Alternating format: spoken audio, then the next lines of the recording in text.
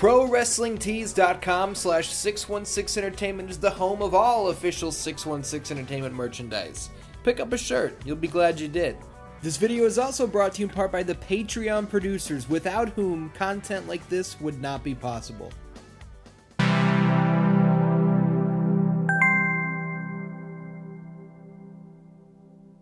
Extreme Championship Wrestling.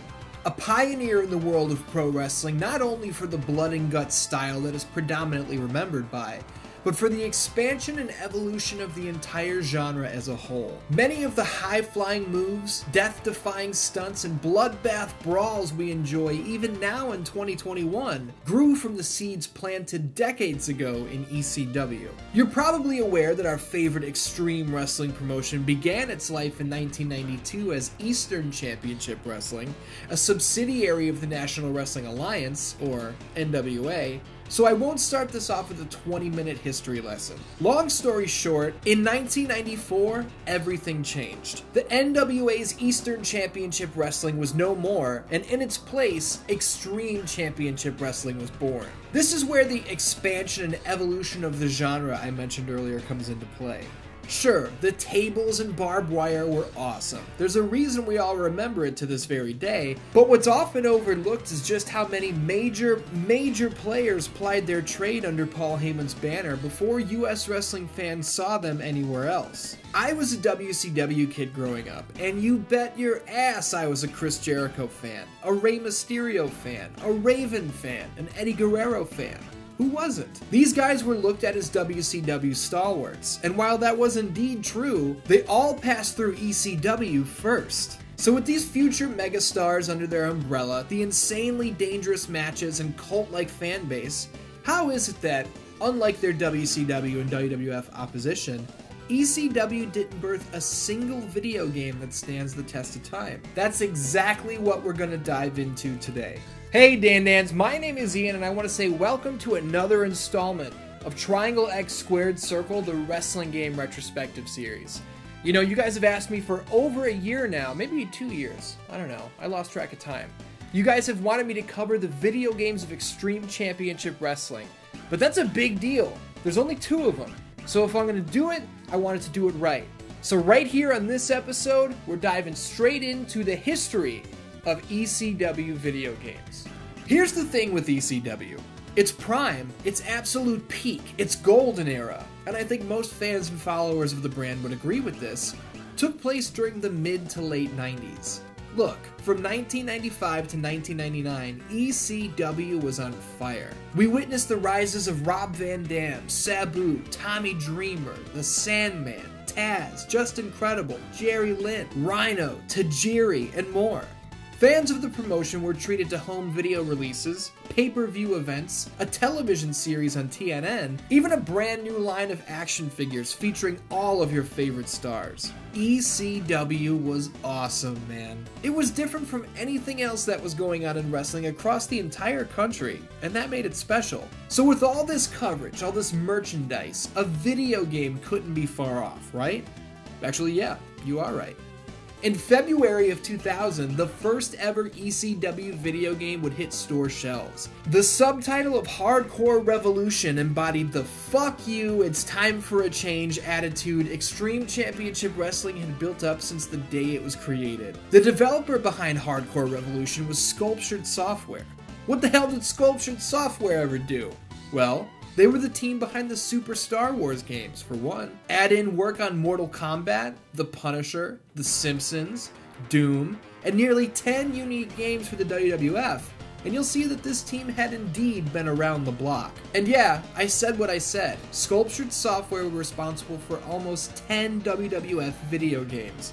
From the 16 bit brawlers of Royal Rumble and Raw to the arcade fighters of WrestleMania and In Your House, even into the 3D realm with Warzone and Attitude. You can watch my retrospective of WWF Warzone by clicking the link in the description. But the wrestling video game landscape changed in a big way in 1999. WCW had been paired up with Aki for years, bringing us classics like WCW vs. the World and even Revenge. The WWF had been aligned with Sculptured Software, delivering the aforementioned titles across practically every console known to man. And then, they weren't.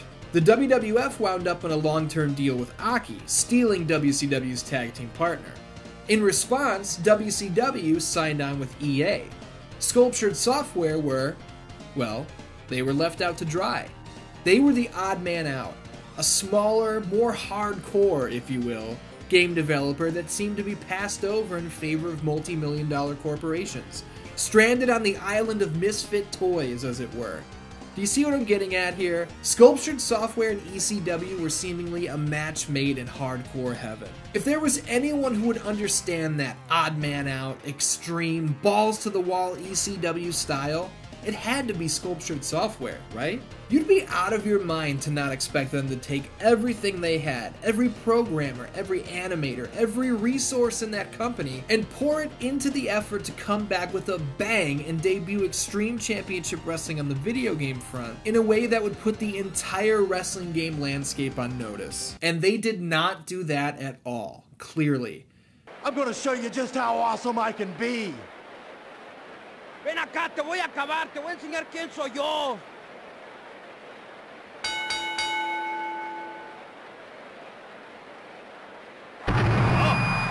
This is raw gameplay of ECW Hardcore Revolution for the PlayStation. If you're asking your screen, are you sure that's not footage from WWF Warzone? Or like a mod of WWF Attitude or something? Yes, I am quite sure. Although you're not far off, ECW Hardcore Revolution hit the Sony PlayStation, Nintendo 64, and Sega Dreamcast all on the same day. And everyone's reaction was exactly the same. I've played this already. What Sculptured Software had done with Hardcore Revolution was unthinkable, right?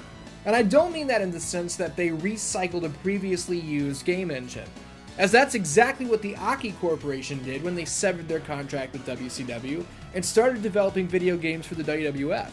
They don't catch any flack for that. They're applauded for it. They're revered as one of the greatest of all time. But this was different. It was different in a big way. I may take a little bit of heat for this, but it's true.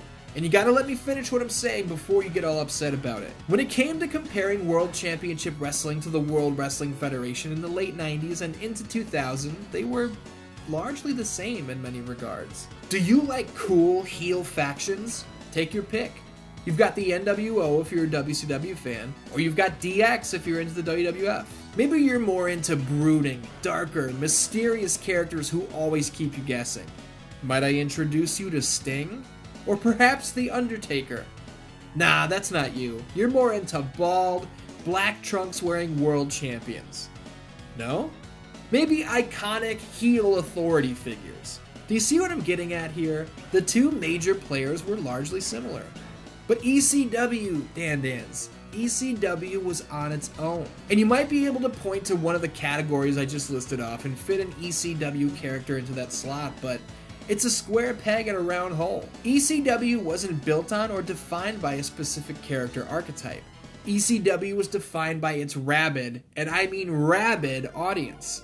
It was defined by its sheer unpredictability.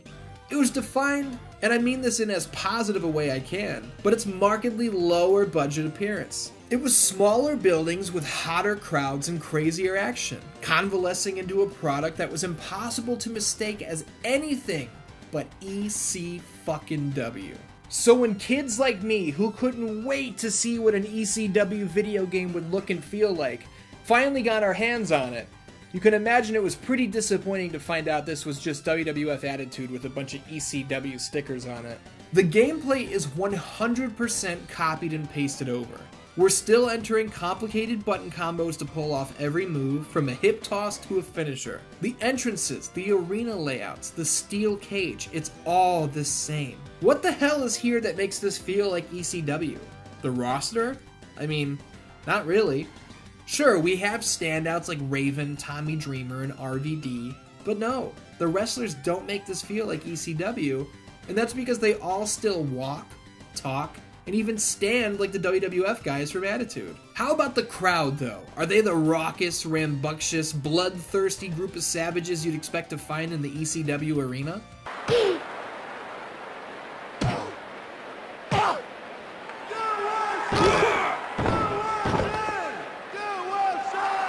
No. The only, and I mean only saving grace here is Joey Styles on commentary. And that's commentary he does solo, by the way, which is not something I can ever recall happening in another wrestling game. His commentary isn't good, but it's here. And that's not a knock on Joey's actual work. It's just, in the game, it's mostly a bunch of no context reactions, rather than his in depth and fast paced work we were used to in real life. Oh! The original gangster gets away with the choke. Pin crusher. Ugh. Vertical suplex. That kept player two down. Hey! I like Joey Styles a lot, don't get it twisted. I feel like I might have gotten a little bit of doubt when I said that there wasn't anything here to actually make this feel like ECW. What about the table crashing, ladder falling, balcony diving insanity that came along with the real life product? Nope. There are no tables in Hardcore Revolution, which is incredible seeing as though WWF Warzone, the first game to use this engine, featured breakable tables, and that was developed in 1997. There's also no ladders to fly off and no balconies to dive from, so no, none of it.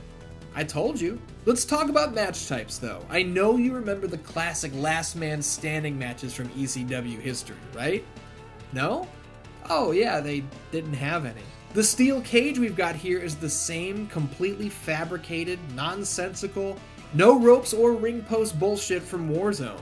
Listen, I'll give Hardcore Revolution this. It was the first game I'd ever played that featured barbed wire ropes. That was a cool visual, I can't pretend it's not. But when you realize there's only one animation for the guys hitting the barbed wire, and other than that, it's the same as every other match, the luster wears off pretty quickly. And it's worth noting that Hardcore Revolution is rated M for mature, making this the first wrestling game to ever get that rating from the ESRB. Why is it rated M? I have absolutely no idea. The vulgar language is censored, Time for a 187 on your fing ass! and the blood content is damn near the same it was in its WWF predecessors. Uncharted Drake's Fortune is rated T, for Christ's sake, and I'm not joking when I say you kill over a thousand people across that story mode, with a multitude of firearms and explosives. So why is ECW rated M? Well, because it's extreme. AKA, it looks better on the box for marketing purposes. You know what Paul Heyman always said hide the negatives, accentuate the positives. When the ability to book your own matches gets boring way faster than any $50 game should, you start to look outside of exhibition mode at what else the game has to offer. Create a wrestler is practically the same it was in WWF Attitude, so next. Career mode has you taking your wrestler through the ranks, show by show, until. Yeah, it's the same as WWF Attitude. It is worth noting, though, that winning championships and completing specific tasks unlocks a multitude of hidden characters. We've got the all time babe Beulah McGillicuddy, Taz, who had left for the WWF before the game released, and even Louie Spicolli, an ECW alum who had died a full two years before the launch of Hardcore Revolution. It's said that his inclusion in the game was a personal favor to Tommy Dreamer, who references his fallen friend in his pre-match promos. ECW Hardcore Revolution was a letdown of epic proportions. An extreme letdown, if you will. It reviewed very poorly across the board, but somehow probably on name value alone, it managed to sell several hundred thousand copies. And I'm not gonna lie to you, when I was younger, I played Hardcore Revolution quite a bit. Did I own it? Hell no, I didn't own it. But I think I rented this game probably like 10 times. I can't explain it. I knew it wasn't a true ECW experience, but I wanted it to be so bad that I just kept coming back to it. Well, there's that, and my friends and I found it very funny when Roadkill would say, Chickens! I don't know why. I can't explain it. We were young and dumb, what do you want? After what was undoubtedly a less than stellar first effort, what would be next for Extreme Championship Wrestling on the video game front? Would Sculptured Software scrap the nearly five year old skeleton of WWF Warzone and really give ECW the fresh, unique treatment it deserved? Well, in just six months' time, we'd get our answer. And no, I did not misspeak. ECW Anarchy Rulz released six months after Hardcore Revolution. You're probably thinking, Wait a minute. There's no way you could be able to do anything good in six months. No way. Unless. Nope. Sorry. I am not kidding when I tell you this. It's literally WWF Attitude again. Again! Sure, they added some new moves here and there and a couple new match types, which we'll get to. Hold your horses. But it's the same fucking game again. How Acclaim, or Sculptured Software, whatever the hell they were calling themselves at this point, thought that was acceptable to do again, I have no idea. Here's what I'm thinking. ECW's in the fucking shit. They're on life support. We got these guys locked down for two games. We pump them out before they kick the bucket. Well, how long do you think it's going to be before they're out of business? I'm thinking anywhere between, uh, I don't know, five minutes and uh, six months. So what do we do? Have you been paying attention to fucking anything these past four years? We do what we always do. You put the same fucking game out, you add like two new things. So what do we add? It's it's extreme, right? Should we add something extreme? I know we really didn't do that last time. I don't give a flying rat's ass what you do. You can make a match where you fucking throw a guy into burning hot fire and he dies. I don't care. Going to do to each other. Did that conversation actually take place? I don't know. But how the hell else would we have wound up with the Brimstone match? This doesn't have an ECW aura about it. It doesn't have any aura about it because it's not a real match! What else did they do here to up the extreme factor after completely failing on Hardcore Revolution? Oh, I got it. How about a dumpster match? You can count on your own ass how many dumpster matches there were in ECW history, because it's another complete and total miss. I'd like to face the developers at Sculptured Software in a dumpster match so I can throw them inside the goddamn thing. And they can find copies of their own ECW games at the bottom. But there's gotta be more here, right? Of course there is. Let me introduce you to Rage in the Cage. Is it an extreme cage match? Nope! It's the UFC octagon dropped right in the center of the ECW arena for some reason. The fuck is this I'm hearing about you idiots putting in a UFC cage or whatever? You said we could do whatever we want. Yeah, I guess you're right. Why is the floor of the octagon brown? I don't know. Is it supposed to be dirt or is it a brown canvas? If it is dirt, why does this cage have a dirt floor? I don't know.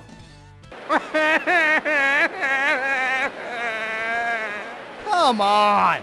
Listen, it's either this or the backlot match, and unless you want to run around outside the ECW arena and step on a used needle or see a rat the size of Hornswoggle running down the street on its hind legs carrying an entire boxed pizza, I recommend you stay inside the building. Maybe this big fucking cage will keep you safe. You know what's funny though?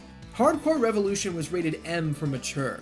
Anarchy Rulz allows you to burn an opponent alive and listen to them scream out their final breath, and it's got a T for teens rating. What changed? Anarchy Rulz is inarguably more vulgar and violent than its predecessor. Much like the development of this game, it makes no sense whatsoever. Nor does their table match that they've added here. Listen, table matches are some of my favorites of all time. You win by putting a guy through a table. It's simple. Here in Anarchy Rulz, it's not that simple. Because why would it be? The ring is surrounded by tables that you cannot interact with in any way. They stay put. Merely coming in contact with them at all breaks them in half. And there's no animation for it breaking. Don't get crazy. There are two frames unbroken and broken. How do you win? Pinfall or submission. Good lord. The things that really catch you off guard in Anarchy Rulz have very little to do with the gameplay, and you might not notice them at all unless you're really paying attention. Would you believe that this is the first time Dusty Rhodes has ever been playable in a video game?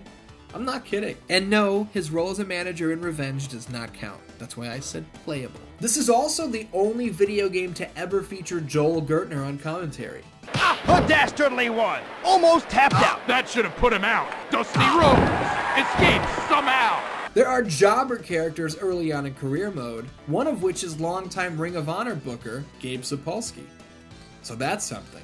And hell, ECW wrestlers use popular songs from big name artists as their entrance music without permission, which obviously couldn't be done here in the game, but we do have New Jack's custom theme song, which was recorded by New Jack himself. Normally, on an episode of Triangle X Squared Circle, I'll run down a long list of positives and then I show up on camera and say, unfortunately, not everything was perfect. This has been the exact opposite. I've been pretty hard on the ECW video games, and with good reason. But fortunately, there are some positive aspects that I'd like to shine a light on. First and foremost, I think it's really cool that we can create our own rings and arenas. Is this a feature that's been around since WWF Attitude? I mean, yeah, it is. But they didn't cut it out. And when you really think about it, we didn't have this type of control over creating our own rings and changing the colors of the ropes and turnbuckle pads again until the release of WWE 12, which was more than a decade after Anarchy Rulz release. And speaking of features the 2K games touted as being new and innovative, Anarchy Rulz has a create a match feature. Do you want tables surrounding the ring, but you can only win by landing your finisher? You can make that happen. Do you want to book a barbed wire 2 out of 3 falls match? Go for it. Sure, the options are limited, but they're here. Ugh, I mean, both of the positives I've chosen to highlight have been in the game since WWF Attitude, but I'm grasping at straws here, guys. ECW Anarchy Rulz was met with even worse review scores than its predecessor, and you guessed it, didn't sell nearly as well either. The Nintendo 64 version of the game was straight up cancelled. Hardcore Revolution moved units based on the ECW logo being on the cover of a PlayStation, Nintendo, or Dreamcast box. And when fans took it home and experienced a massive disappointment, there was no way you were going to earn their trust again just six months later. Especially when they can just flip to the artwork on the back and see that it's still just a reskin of WWF Attitude. Two years later, Sculptured Software, aka Acclaim, would move on to the Legends of Wrestling series, culminating with Showdown in 2005, which you can learn all about by watching my Triangle X Squared Circle retrospective on Showdown. Link in the description. But what about ECW? What would become the baddest, bloodiest, most brutal promotion in the US? Well, there's a reason Acclaim didn't launch a new ECW game in 2002. Remember the six months between Hardcore Revolution and Anarchy Rulz? Well, there were six months between the release of Anarchy Rulz and ECW going out of business. The blood and guts, for the people, grassroots promotion that kickstarted its rise to prominence in 1994 was dead just seven years later. We look back on ECW as one of the all time major players, even now, 20 years after its doors closed for the last time, and that just goes to show how special Extreme Championship Wrestling was. Look, TNA, or Impact Wrestling, is in its 19th year of operation. 19 years! But do we look back on Impact with the same hardcore love and blood soaked affection as we do ECW? No, not even close. And even with as disappointing as these games were, and honestly still are, we forgive them. Click that like button right now if you're watching this video and you know, deep down, that you have positive memories of these games. I may not have owned Hardcore Revolution, but my grandma bought me Anarchy Rulz for my birthday. And you bet your barbed wired ass that I played this game like it was one of the best in my collection. It's not always about polish and greatness, you know? Sometimes a less than stellar, low budget, poor production quality piece of entertainment can bring you just as much joy as the greatest of all time, based merely on how we feel about it and what it means to us. So, in that way, the ECW video games are a little more similar to ECW as a whole than we may have realized. Or I'm reaching really hard because I don't want to close this on a negative note. Work with me here, guys. Dan Dans, this was my Triangle X Squared Circle retrospective on the video games of ECW. Or the history of ECW video games. I don't know, whichever one sounds better. I hope you guys enjoyed watching, and I hope you played back some of those memories in your mind because that is the entire idea. Season 2 of Triangle X Squared Circle has been a heavy hitter, as promised. We're only three episodes in, and we've already covered six individual games. Can you believe that? Next time out, the main event quality isn't going anywhere, as WWF WrestleMania 2000 on the Nintendo 64 is finally getting its due. Until then, I love ya, and I will see you next time.